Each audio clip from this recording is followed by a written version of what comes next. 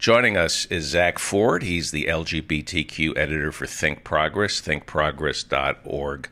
I like the Pope. Why?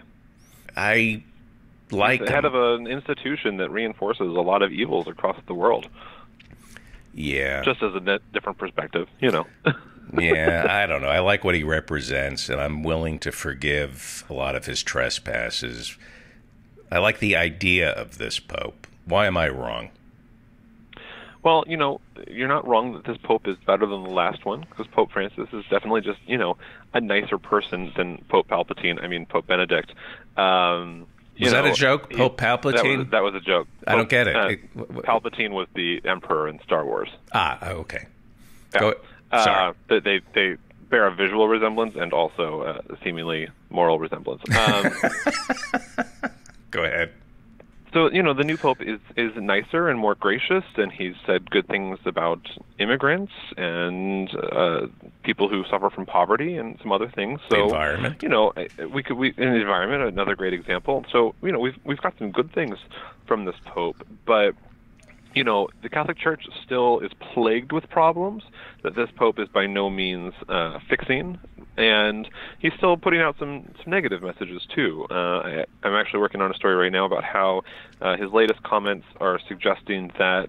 Um, you should love your kid if he's gay. You shouldn't throw him out of the house. But if he's young, you might want to like send him to therapy because Hmm. he's gay, and that's that's that's not okay. That's not. we're not. You know, it's better than like yes, kick them out and never talk to them again. But it, you know, for me, the bar is high. It's not ever good enough until it's fully equal and, and tolerant and accepting. So, um, you know, I'm not moved. Is the Pope supporting gay conversion therapy? Because over at Think Progress, thinkprogress.org, you have a piece where the Catholic Medical Association is publishing studies that prove gay conversion works. Is that the doctrine of the Pope?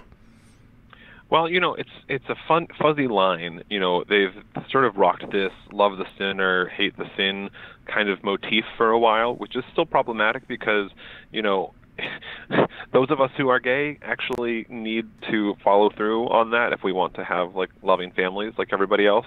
So, you know, you can't just say, "Hey, you can never act on it." But that's really what the church's line has been.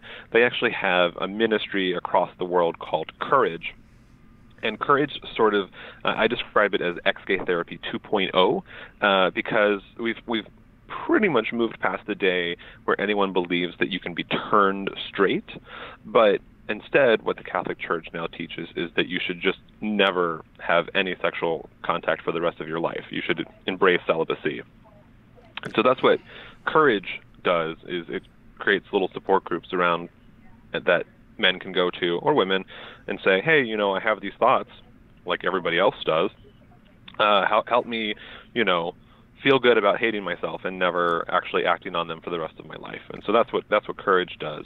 Now, this new study uh, has a lot of conservatives, not just Catholics, very excited, but it's not actually new.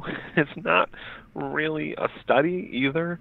Um, it, it advertises itself as one, but the research is actually seven years old, and it's a very poor representation of actual science uh, in terms of what it claims is possible through ex-gay therapy. You're talking about effects of therapy on religious men who have unwanted same-sex attraction, published in the is it pronounced the Linacre Quarterly? Uh, I've been saying Lineker. I don't actually know what it is.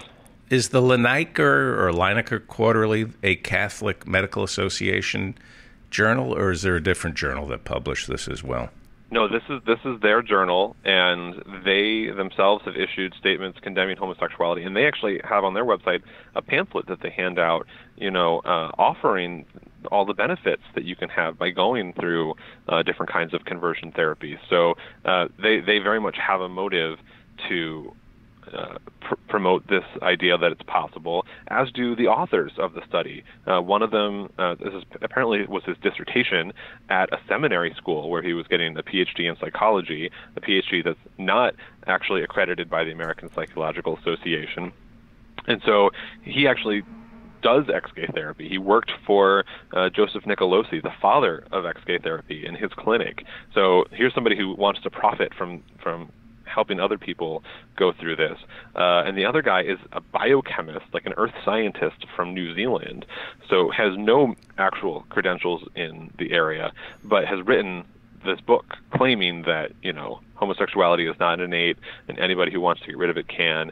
And also like spreading all these myths that like you know gays are more promiscuous and same sex relationships are less stable. All of these ideas that make it sound like a bad idea to actually try to you know have a loving relationship in accordance with your orientation I want to get back to the Catholic Church in a second, but very quickly, what is the legal status of gay conversion therapy in America?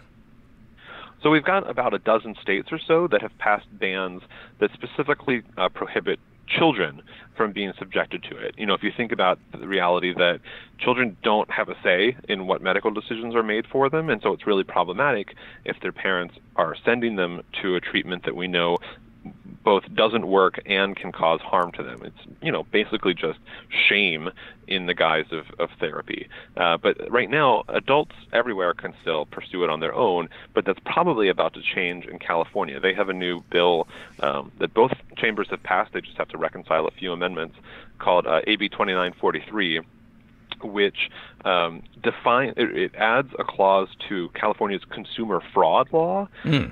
that identifies any effort to change a person's sexual orientation as consumer fraud. That's and interesting. So this will be the, yeah, well, you know, there was actually a lawsuit in New Jersey challenging an ex-gay group under New Jersey's consumer fraud uh, laws, and they won the case against this this ex-gay therapist. So uh, it's it's an interesting model. It's like, hey, this is junk. If someone tries to peddle you this junk, you're being subjected to consumer fraud. Uh, I think it makes perfect sense. It's also uh, it's a great sketch it's a great sketch for Saturday Night Live.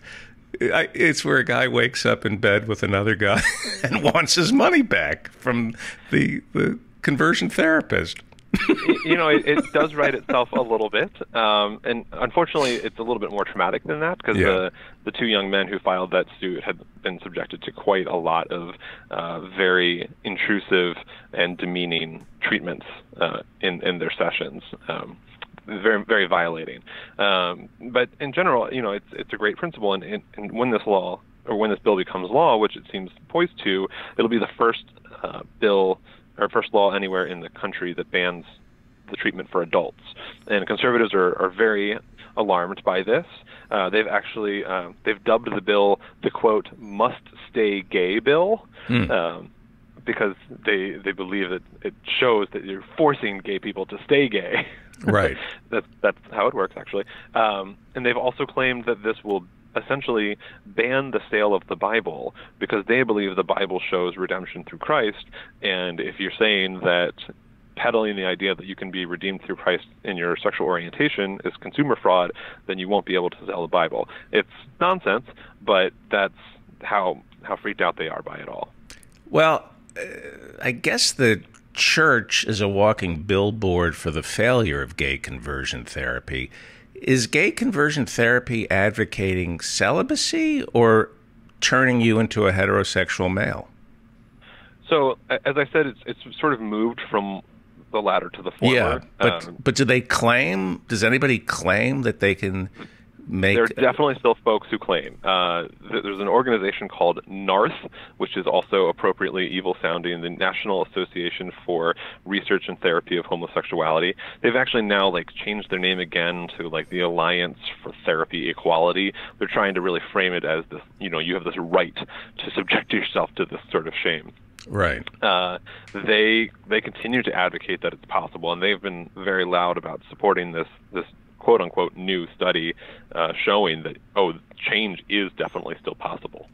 So, not being a Catholic, my understanding of a priest's celibacy is I'm not attracted to men, I'm attracted to Jesus. I'm in love with one man, and that's Jesus. So I'll be celibate and devote my life to just Jesus. Is that the attraction that repressed gay men have for the Catholic Church and they become priests, they make a decision I'll be celibate for Jesus. Is that how it works? I mean, I'm, I have zero doubt that that's how it works for some individuals. I don't know how wide a net I'd be prepared to cast on that. Uh, but I, I definitely think that, you know, if somebody feels like their homosexuality is wrong, and, and it's because of their religious beliefs, I think it makes sense that there's a very clear path for them to say, oh, since I don't ever want to act on this, all the better if I take a job that requires that I never act on that and, and teaches me to never act on that. You know, it's a sort of self reinforcing mechanism of, of taking yourself down that path. And so, you know, there there are certainly gay priests. I'm not sure just how many, um, but I, I think that journey makes sense um, in, in probably what a lot of them experienced. And we have an archbishop in the United States who is blaming homosexuality for the pederasty problem, pedophilia problem in the Catholic Church. Yeah, he's not the only one. Um, there's there's actually been a couple uh, and a couple worldwide as well. Uh, I wrote specifically about um, uh, one who is actually just affiliated with a, an anti-LGBT organization that um, said that this is Cardinal Raymond Burke. He thinks that the whole you know Pennsylvania grand jury report we got is just a testament to the fact that you know these were homosexual acts, and we have a homosexual culture in the church that needs to be quote purified at the root. Uh, and he said it is of course a tendency that is disordered. Um, so he was one. There was also a bishop in Madison, Wisconsin, who said something similar, and there have been a number of other Catholic leaders that have, have taken the same toll. Uh, you know, there's no connection whatsoever between pedophilia and homosexuality. Uh, but the reason that that keeps coming up, and it's certainly something we've heard for years as just a reason, you know, like there was a, almost a law passed in California back in the 60s that would have prevented teachers uh, from being, you know, prevented schools from hiring teachers if they're gay on the notion that they're somehow more of a threat to children just because they're gay. But the real reason is that, you know, we have a society where we have male leadership figures that often have a lot more exposure to children who are also boys. And so, you know, pedophilia doesn't really discriminate on the basis of gender because pedophilia is all about um, young people whose sex organs haven't even developed. And so it's really just about access that we see, um, you know, more boys experiencing that than than girls because boys are around male authority figures more often than girls are.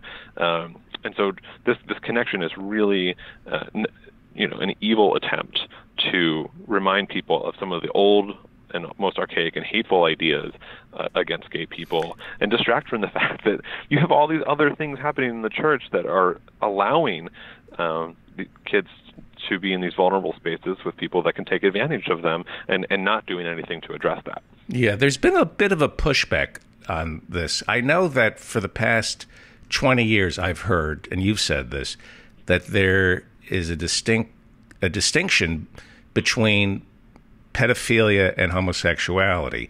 And the conservatives push back and say, if you're a man and you're fondling another man or a boy, that's uh, that's a homosexual act. They push back on that. Where does the DSM, where, where does the medical community stand on the distinction between pedophilia and homosexuality? Well, what's important to keep in mind is that sexual orientation specifically means the sex that you're oriented toward. So it speaks to what gender you're attracted to, not what kind of sex you want to have. Children are not a gender, and the DSM defines pedophilia not as a sexual orientation, but as a paraphilia, a sexual disorder. And so if you're attracted to children in a sexual way, that is not in any way related to the, the way that we casually discuss sexuality uh, when we're talking about LGBTQ issues. So there's really just no connection there whatsoever. Okay, let me push back just a little on this. There doesn't seem to be a spate of young girls being molested in the Catholic Church, does there? Well, you know, girls cannot hold leadership positions, so you you you, you have altar boys and things like that. You don't have altar girls. Um, so in terms, you have only male leaders in the, the church, and only boys are allowed to take leadership positions as youth. So uh, it makes sense that that's what you would then see. That's not to say that there aren't girls who have been abused, and, and a lot of the abuse does happen outside of the church too. So you you have to I don't I don't think there's a generalization there, but I just think that the fact that um, it's more often to be boys is just a testament to the the access that is there has nothing to do with sexuality whatsoever. What is the church going to do?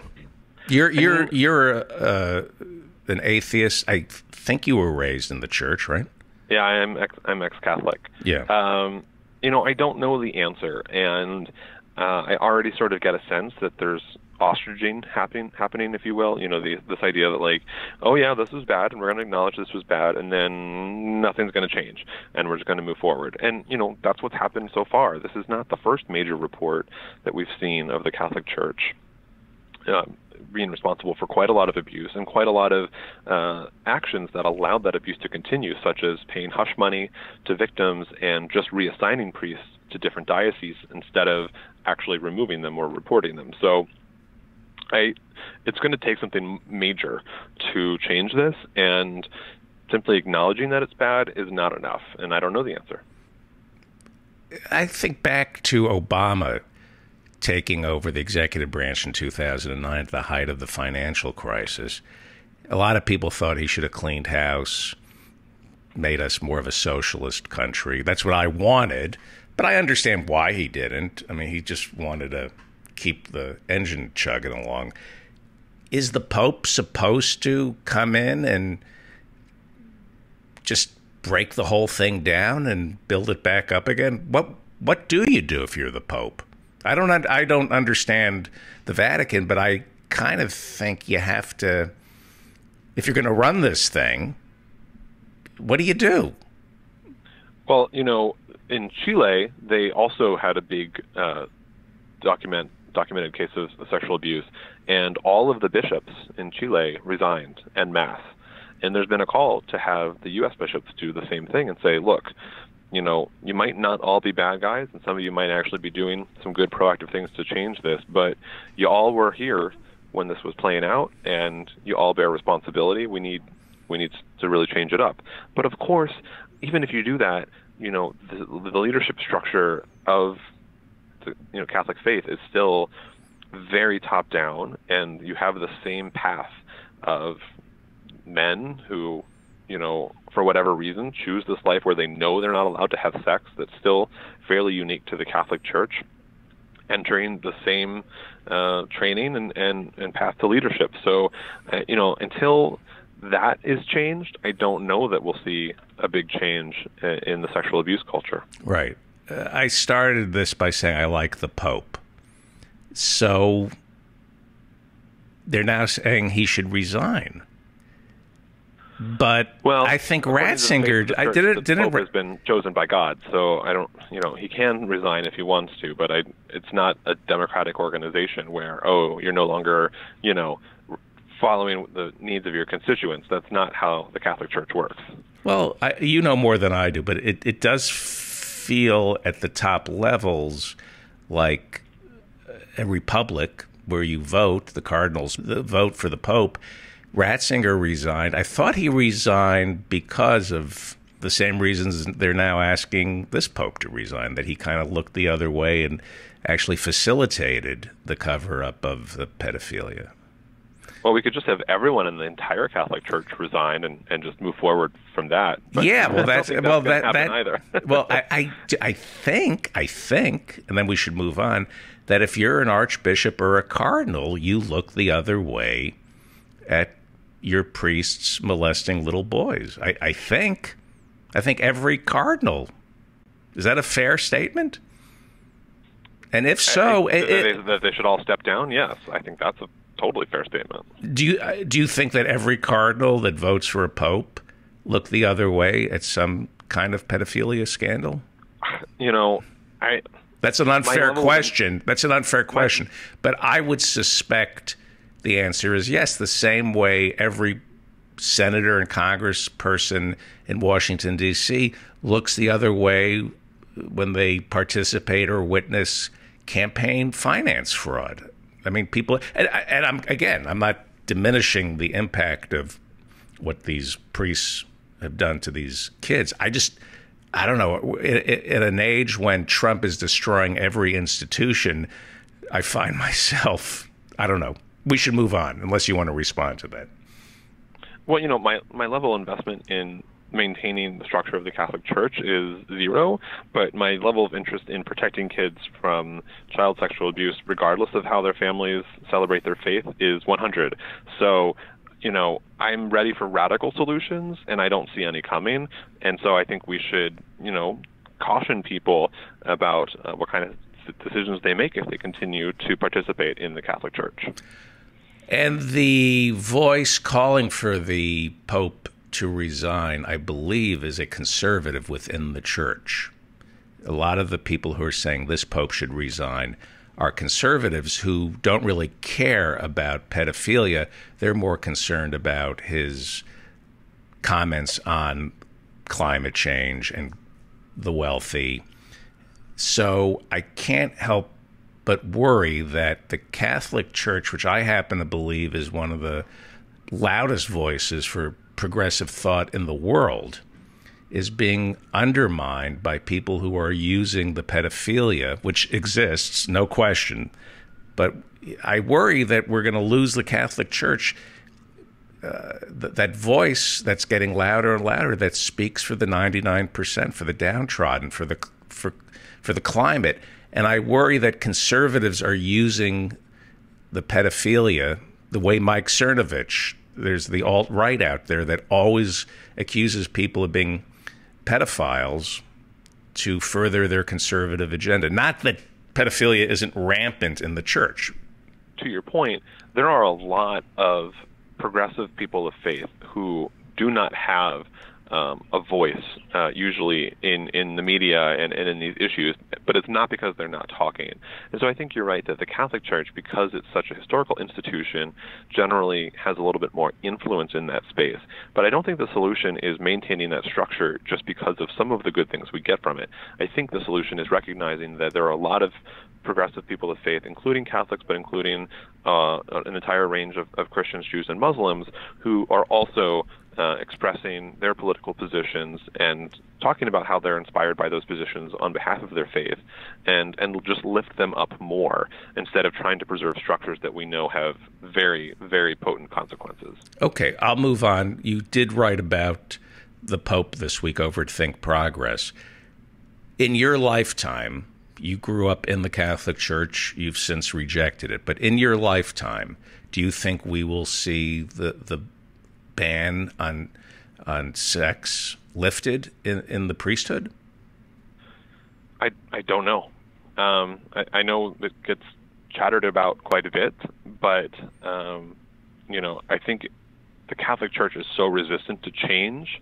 Um, you know there was there was quite a bit of change back at Vatican II, and there hasn't been quite as much since. And you know it would take something monumental to make a change that big.